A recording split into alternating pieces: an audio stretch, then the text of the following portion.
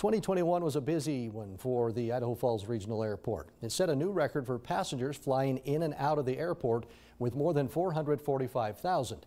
The airport management says that is a 110% increase from 2020 and a 26% increase over 2019. The airport currently offers direct flights to 12 major destinations, including Las Vegas, San Diego, Los Angeles, Dallas, and Seattle. It will add Boise to that list in May.